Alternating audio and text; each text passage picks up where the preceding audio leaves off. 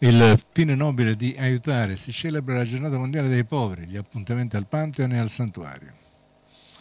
Si celebra domani, domenica 17 novembre, l'ottava edizione della giornata mondiale dei poveri. La giornata è una delle iniziative nate dal Giubileo della Misericordia affinché la Chiesa, attraverso le azioni tangibili delle comunità cristiane, diventi sempre più segno della carità di Cristo verso gli ultimi bisognosi. Questa giornata si propone di incoraggiare innanzitutto i fedeli a opporsi alla cultura dello scarto e dello spreco, abbracciando invece la cultura dell'incontro.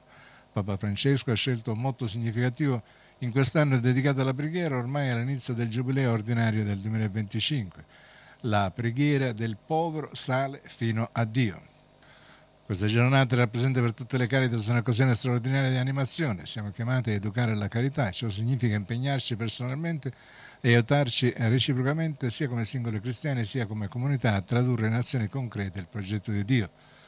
Nella parrocchia San Tommaso Apostolo al Pantheon di Siracusa alle 18 la preghiera del Santo Rosario e alle 18.30 la celebrazione eucaristica, al termine raccolta alimentare a favore della mensa parrocchiale.